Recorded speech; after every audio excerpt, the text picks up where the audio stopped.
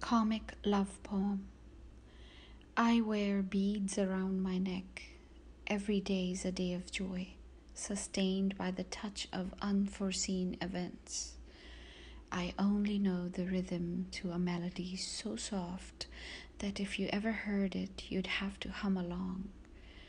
I exist not in myself, I'm an element's function, a symbol in the air or a circle on the water. Each time your eyes open, I only take what's mine.